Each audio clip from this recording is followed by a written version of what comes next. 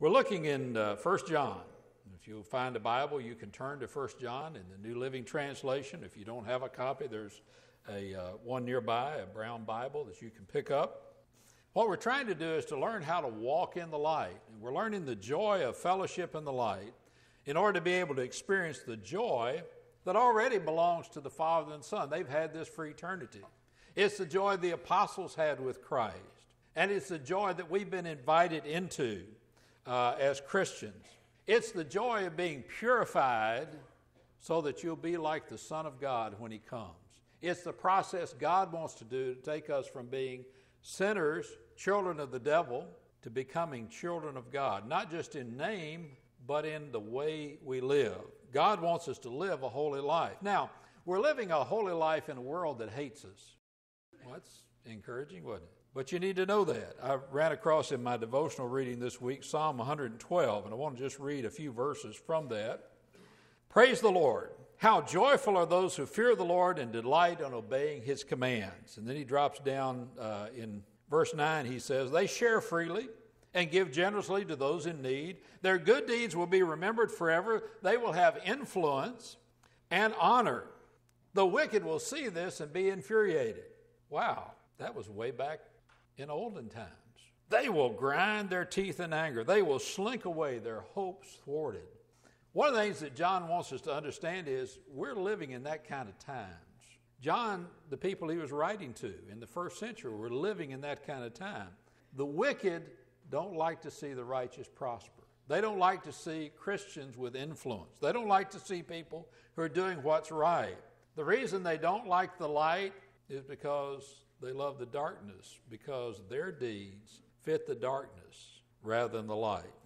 In walking in the light, we've been learning of many detours, uh, one of which was the detour of hate. That was in chapter 2. Well, we're kind of returning to that in chapter 3, verses 11 to 15, but I've called this one in particular the detour of envy.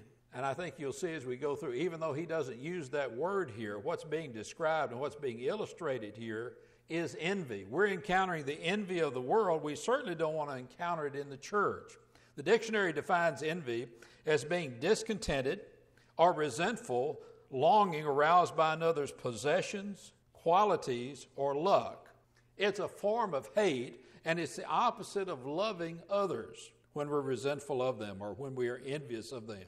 And starting down the road of envy will take us away from walking in the light, just as surely as any other sin we might commit. We need to be aware of that and be understanding of that. Now, if you'll look in 1 John chapter 3, verses 11 to 15, we want to read the scriptures, it'll be on the screen. You can follow along. Uh, if you don't actually happen to have this particular version, uh, you can follow along as I read. He says, This is the message you heard from the beginning. We should love one another. We must not be like Cain, who belonged to the evil one and killed his brother. And why did he kill him?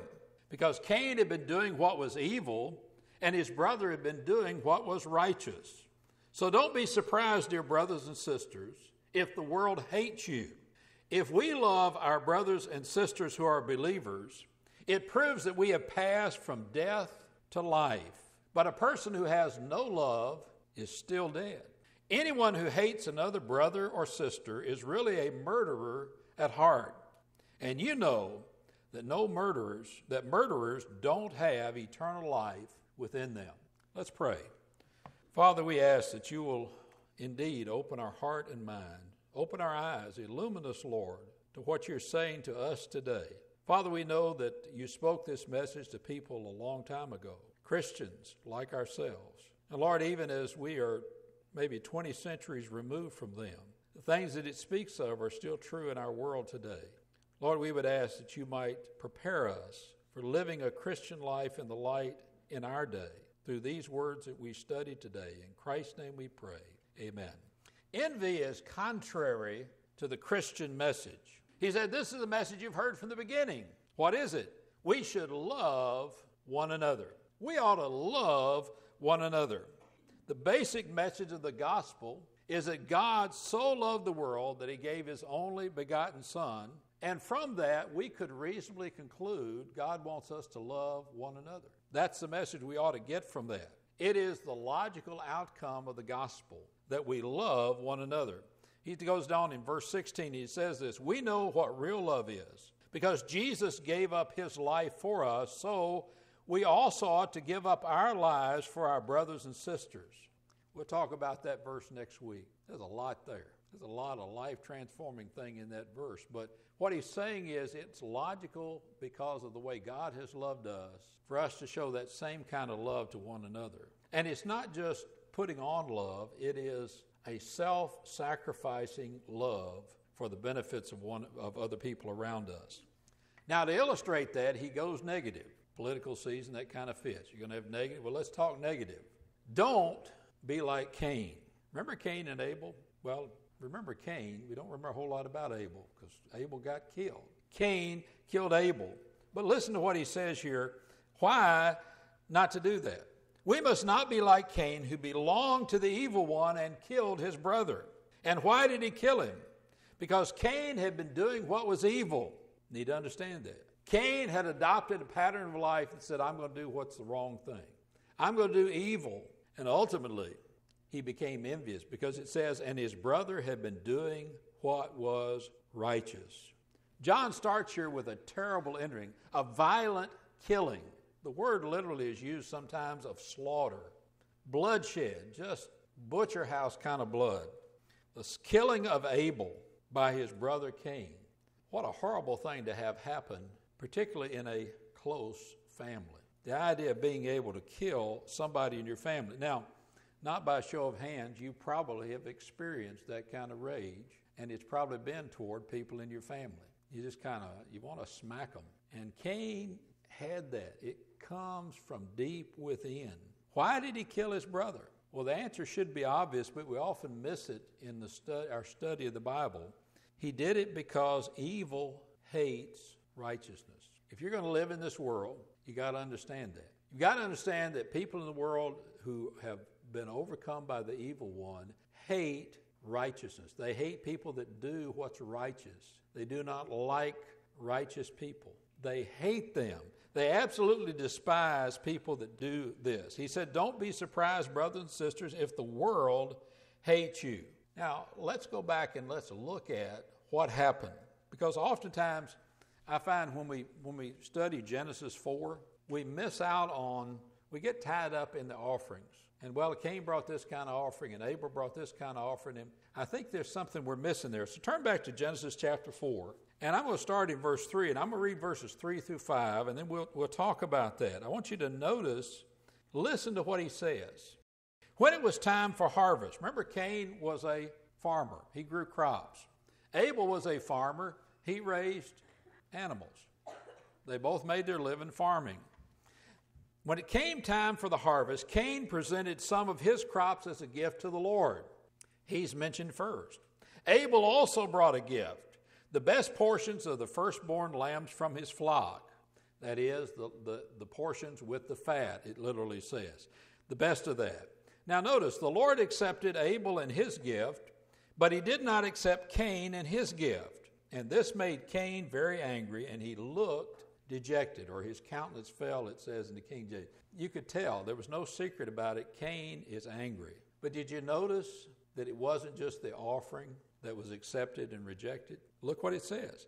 Abel brought a gift, and the Lord accepted Abel and his gift. And he rejected Cain and his gift. Now, it wasn't just rejected because of what was brought. I believe that God had not instructed them as to what it would take to satisfy him. I think God is teaching them and developing their understanding of what is it going to take to please God. What's it going to take to satisfy God? What's it going to take to make God in our favor, or as the word is, propitious towards us? What's it going to take to make God pleased with us? And there's a good word pleased with us.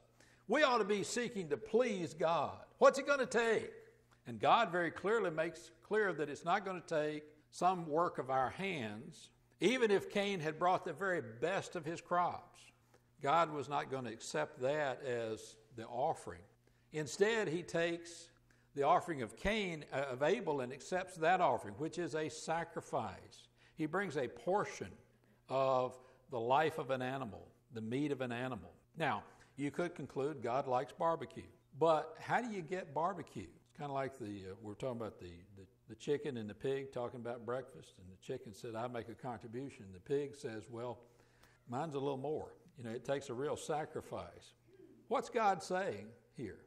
If sin's going to be paid for, something innocent is going to have to die in the place of the guilty for the guilty to be able to come to God and to be pleasing to God. Here in the beginning, chapter 4, that's like four chapters in to Genesis, to, to the revelation of what he's explained to Israel. Remember, this was given to Israel to prepare them to go into the land where people were going to hate them. You need to understand sacrifice is going to be important. It's going to take, there's a sacrifice coming where an innocent is going to give his life in order to pay for the sins of the guilty so they can be accepted before God. And God is beginning to explain that. But he's got two different people here. One is Cain, who John lets us know is of the evil one. Satan has already dominated Cain and Abel.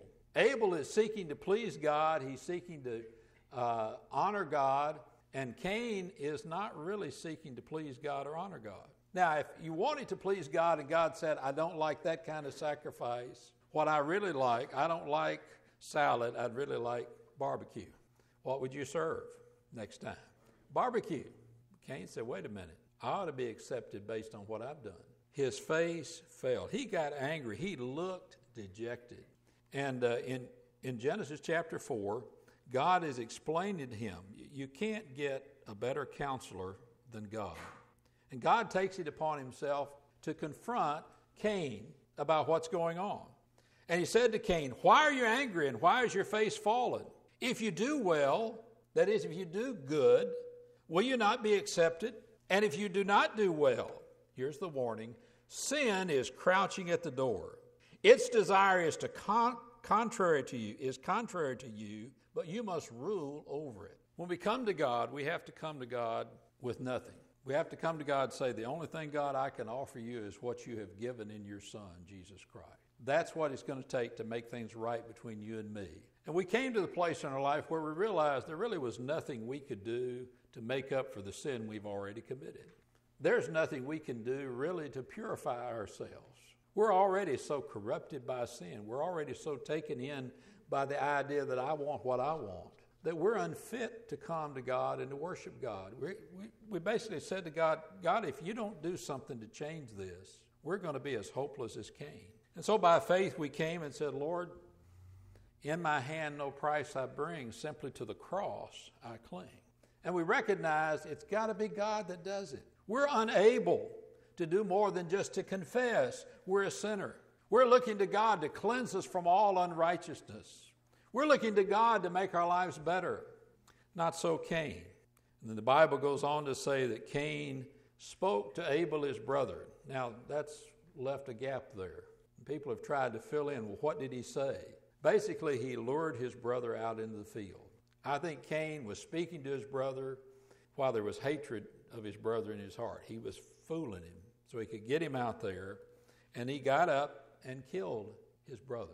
He slaughtered his brother, a violent, bloody death. Why? What had Abel done to Cain? Not a thing, right?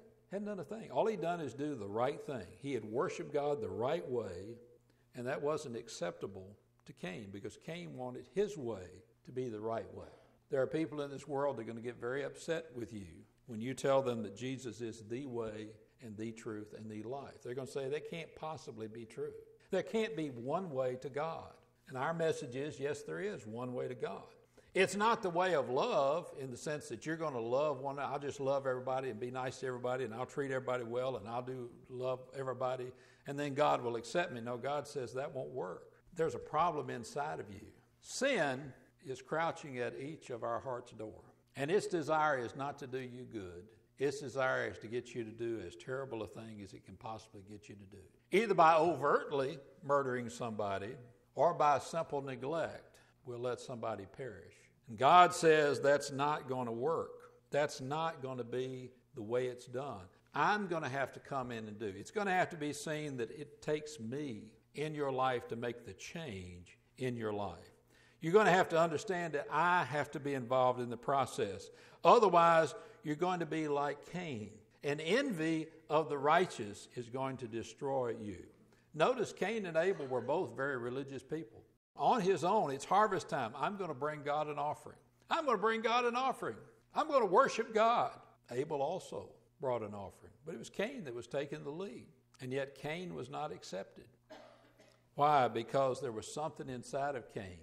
The God who sees the heart said that won't work. That's the path away from the light. You're walking in darkness. You know, I can't tell by looking who's walking in the light and who's walking in darkness because I can't really see the heart. I, I can barely see some of you anyway. Uh, but, uh, but I can tell you're here. And if you're not here, uh, you've got bigger problems than that. But I can tell you're here, but it doesn't tell me whether you're walking in the light or walking in the darkness. Only God can see the heart. Now, eventually, we'll notice there was no question at the sacrifice who was accepted by God and who wasn't. There was no question who was a person that loved his brother after Cain killed Abel. Everybody knew Cain is a horrible person. He's gotten controlled by sin, he's walking in darkness. And by the way, when you go on and read the rest of chapter 4, when you understand that, you'll notice that everything he did and everything he passed on was darkness. His whole line, they walked in darkness. They walked in selfishness. They walked without love for their brother. It was no problem to kill somebody. Whatever it takes for me to be on top. And I can't stand it when somebody else has the favor of God, has the blessing of God. That was their life.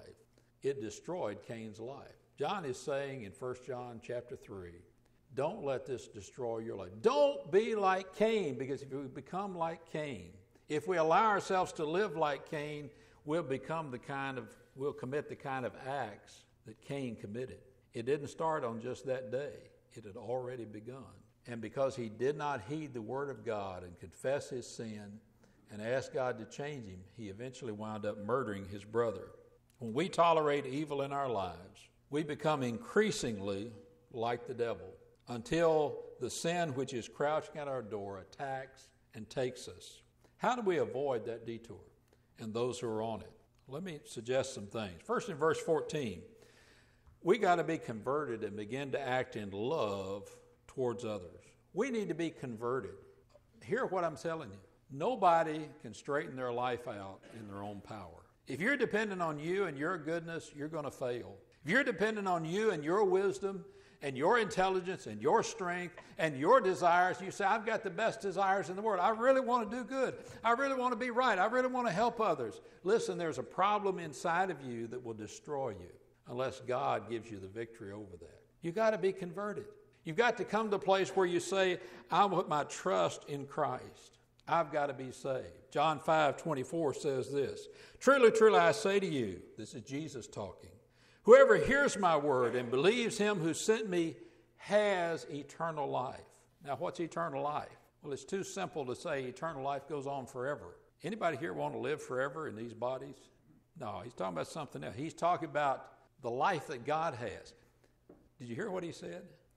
Whoever hears my word and believes him who sent me has God's kind of life living in him. He's got eternal life. He's begun to live the life of forever, the life that God alone has. God is going to share his life with you, and all you got to do is hear the word and believe in God.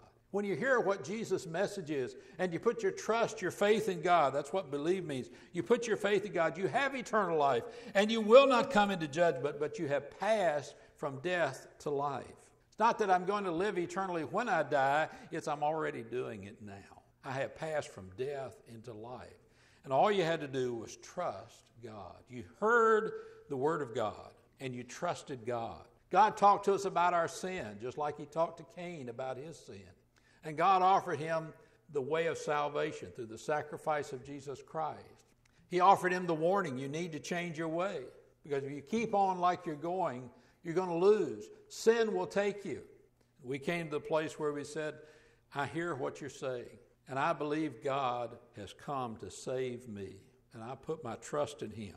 First of all, you've got to be converted. But secondly, we've got to ask ourselves if when we find that we're not loving somebody else, particularly a brother or sister in Christ, you've got to ask yourself the question why don't I love that person? Why is it hard for me to love that person? What is it about them? And of course, that's the way we think, right? It must be something about them. I mean, after all, I'm sweet and lovable. It must be them. You know, they've got a problem.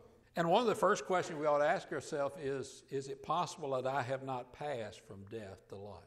You know, if you join a church, that doesn't mean you're saved. You can preach the gospel and not be saved. Have I really been converted? If I find that I'm not loving other believers, I need to go back and, and question Did I really get saved? Maybe I misunderstood the message. Maybe I thought the gospel was all about saving me, and one of these days, you know, God will save me and I'll have life forever, not recognizing that the message of the gospel is we ought to love one another. That if God loved me that much, then the only logical thing I can do is start loving other people. Yeah, maybe I missed that message. Maybe I thought salvation was like a fire insurance policy. I'll get it in case I, I were to die and they might want to send me to hell. I said, wait a minute, I got a policy. I got an escape clause. No, no, no. God wants to give you not escape from hell, but eternal life. He wants you to live with Him. He wants you to live His life. Maybe you missed that. Rather than coming to the place where you put your trust in Christ, you said, hey, I'll take what you're offering, but I'm going to live my life my way. It's all about me. And sometimes we have to think back, and there are, it's possible that you have never been saved. And that's the reason you don't love other believers. But a second thing, could it be that you're holding on to envy? One of the things, one of the messages in First John that we need to understand is it's telling us there are things that we do that we think are okay. I mean, there's sins we want to get rid of, and there's sins we think, well, you know, that one's not so bad. That's, that's not, I mean, there are some really terrible, I mean, murdering somebody else, that's a really terrible thing. But being envious of what people have, I, I can manage that because I, I, could, I could go out and work and get what they've got maybe. Uh, maybe I could, you know, sometimes we hold, have you held on to the sin of envy and said, I, am envious of so and so, but I don't want God to take that out of my life yet. I don't want to confess, I don't want to confess that that's the same thing as murder because I don't think it is. I don't think it's as, bad as murder. Surely that's not it. Cain's problem led to murder. If he had dealt with it back here, he wouldn't have slaughtered his brother out in the field. Am I holding on to envy like that's okay? It's a minor thing, we won't worry with it. When God is confronting us and saying that envy's got to go, I want to clean up that envy in your life. It's going to ruin your life. Sin, the sin of envy, is crouching at your door, and its desires are contrary to what you want. You don't want to go down that path, but if you don't watch what you're doing, it'll take you. And then the third question I thought of in terms of this if I'm not loving others, why? Is it not true that when I'm envious of others, I'm trusting me instead of God? I'm not really trusting God. I'm thinking that, you know, if other people are getting praise and honor and glory and they're, they're being successful, I need to reorchestrate my career. Maybe I'm not doing what's right. Maybe I need to change up and, and you know, I need to do this. Uh, there are pastors that have book deals and they sell millions of books. I mean, they're pastors that make millions. They're pastors that they teach in, in seminaries. They go on the lecture circuit. Uh, they've got this, they've got that. It's, it's possible, even, I know this is a shock, but it's possible for even pastors to be envious. See, I told you you wouldn't believe it. But I mean, it can happen. And you know what happens when you get in that situation? You're trusting yourself and you think, I'm the one that's got to direct it, instead of recognizing God gives you what He wants you to have. If God had wanted to praise, Abel, praise Cain, He could have done that but he was not favorable towards Cain. And that's God's choice. And he invites Cain to trust him, and he'll do what's right. If you'll do well, you'll be pleased, you'll be honored. I find when I am envious of others, it's because I'm, I'm dependent on me instead of dependent on God. Maybe when you look at your envy, you'll see that might be part of the problem too. I'm thinking I'm the one that's got to do this, and I'm the one, instead of recognizing it's God, let Him do what He wants to do. If God wants to accept this sacrifice, that's God's to do. God wants to direct my life this way, then that's the way God wants to direct my life. Let me do that instead of, I might have to humble myself and go to Abel and buy a sheep. And I don't want to do that. Not trusting God is a lot of the root of most of our sins. We're trusting ourselves instead of Him. Third thing I thought about we must be prepared to confess our unrighteousness and to change as the Lord confronts us as He did Cain. The Bible says, 1 John 1 9, I'm sure you've heard it before. Not, you're going to hear it several more times before we get out of 1 John. If we confess our sins, that's all God asks us to do. If we confess our sins, if we say to God, God, I've got this, I've done this terrible thing. I want to confess to you that I've allowed this sin in my life. I've got this sin of envy in my life. God says, Good, I'll take it from there. If we confess our sins, He's faithful and just And therefore, he will cleanse us, he'll forgive us our sins and cleanse us from all unrighteousness. God said, Not only have you got a problem with envy, but you've got a problem. You hate your brother. And I want to take care of that too. It's okay, God, you clear it up. Because I just want to let you know I, I've tried, I can't do it. God, show me what I need to know. Teach me what I need to believe. Show me Christ as he really is in order that I might make the changes necessary. I think, God, if you'll change my thinking, it'll change my actions. But God, you're going to have to do it. That's what confession is. God, I don't want this in my life, but I find myself powerless to get out of it. God, help. God says, I'll do it. We have an advocate, chapter 2, verse 2 says, with the Father, Jesus Christ the righteous, and He is our, what's the H word? Hilasmos. He's the propitiation. He is the one who satisfies the wrath of God. He's the one pleading for us. When we confess, we're on the road to making the changes in our life. Cain wouldn't confess. He didn't confess that he'd done the wrong thing. And even when God confronted him after he'd murdered his brother, and the blood of his brother had soaked into the ground, he said, Am I my brother's keeper? I don't know where he is. Sure, you know, he, you killed him. He didn't walk off. You know where his blood is. God says, I hear his blood crying out from the ground. We got to confess, and we got to say, That is not what I want in my life. I don't want to be an unrighteous person. And I certainly don't want to be a kind of person that would murder somebody else, slaughter somebody else in rage, in my anger against them. God says, if you don't deal with the sins I'm pointing out to you now, if you don't confess those to me, that awaits you. It's coming, it's within you. We have to recognize how dangerous sin is. Child of God is as dangerous for us as it is for people in the world. Christians can do these sins if we don't walk with God, we don't abide in Christ, it can happen to us because the same sin that's in them is still in us. And only God can give you the power to overcome it. Fourth thing I thought about in terms of this. Verse 13, we must not let opposition, envious hatred by the world surprise us. Surprise us. Don't let that happen. The world is going to hate you. Don't let that surprise you. What's he mean by that? Somebody hates me, I hate them back. I'm not really expecting, I really am a lovable person. And I'm, I, it always surprises me when people don't like me. It's like, really? I thought you were talking about so and so. It's me? Oh, I, I didn't, you know, you, something wrong with you because I'm delightful. And then you get to say, well, fooey on you. If that's your attitude, I don't need you. You see, we tend to react to hate instead of responding to hate. Child of God, you need to understand you're going to get hated in this world for doing the right thing.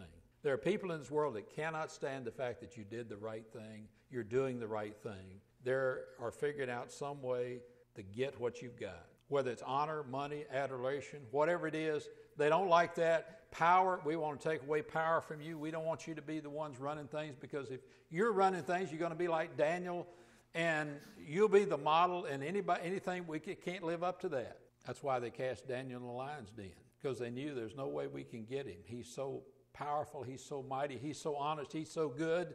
It's keeping down the graft and corruption. We're not making any money because everybody says, Why can't you be like Daniel? You know, he's the standard. We're going to put Daniel over everybody. And Daniel, what he knows what you're doing. And we don't want that because it's hard to get rich that way.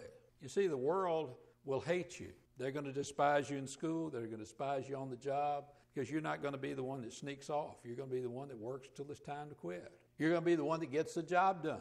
You're going to be the kind of person that takes care of your wife, looks after your children.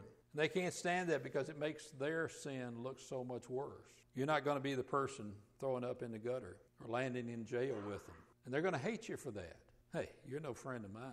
Good friend of mine would be right there in jail beside me. We don't want you. He said, Don't let that throw you. Recognize and understand that you're going to be hated in this world. Don't be surprised by that. Don't let it throw you off to where you start taking punches back. Just recognize that's the path the Savior has set them on. Jesus said, They've hated me. You know why they're going to hate you? Because they hate me. And when they see you, they see me. You need to brace yourself for that and understand that. Pontius Pilate said this about Jesus, or they, he concluded this about Jesus. He knew very well that the religious leaders had arrested Jesus out of envy. He was getting the crowds, he was winning over the people. He was becoming popular and they couldn't stand it. When the apostles were brought before the Sanhedrin, Acts 5:17, the high priest and his officials who were Sadducees were filled with jealousy because the gospel message was spreading. When you are being hated by the world, you're in company with the Savior, you're in company with the apostles. You may even be in the company of the martyrs. Revelation chapter 6, verse 9 uses this word. When the Lamb broke the fifth seal, I saw under the altar the souls of all who have been martyred for the word of God and for being faithful in their testimony. That's what we want to be faithful.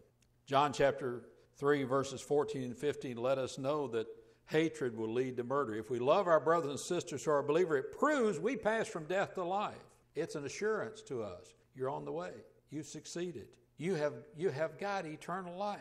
And that's what's causing you to love other believers. But a person who has no love is still dead. Verse 415 says, And anyone who hates another brother or sister is really a murderer at heart. And you know that murderers don't have eternal life within them, they are contradictory. I want to encourage you today if you're loving other believers, know that this is God's sign of assurance to you that I have worked this in your heart. I've given you eternal life. I've given you my love to shed abroad to others. If you're having trouble, if you're having difficulty loving somebody in this room, know that sin is crouching at your door and it has not got your best interest at heart. God wants you to deal with that envy. God wants you to deal with that problem. God wants you to recognize if I don't deal with this, I could wind up killing somebody. Choose whether you want to walk in darkness or walk in light. Didn't you make the decision, I want to walk in light? Then we ought to walk in the light as He is in the light. Let's bow together in prayer. Father, we have put our trust in you. Lord, we've made the declaration that we want to come to the light so that our own deeds of darkness, our own sins might be exposed. Lord, not just to the world, but Lord, be shown to us that, hey, we have a problem that's far greater than we thought. But Lord, we thank you that in your love, not only did you send your Son to die for us, but Father, you have saved us and put your Holy Spirit within us to point out to us the things that have got to change. And Lord, as your children, we want to make those changes. Lord, we don't want it to be said of any of us, this one murdered his brother, as was said of Cain. Rather, we want it to be said, Behold how they love one another. Lord, whatever changes you have to make in my heart and in my life to bring that about, I ask you to do it for Jesus' sake. Lord, if there's someone here this morning that's yet to put their trust in Christ, yet to take that first step of walking in the light, confessing that they are a hopeless sinner, and without you, God, they will wind up killing somebody, doing something so awful and terrible, it's, it's painful to speak of. Lord, I pray that you'll open their heart and mind to faith even at this moment. They'll plead with you for salvation. Father, we know that whosoever shall call upon the name of the Lord shall be saved, that they'll ask, and Father, that you'll save them. We ask all of this in the name of Jesus Christ and for his glory. Amen.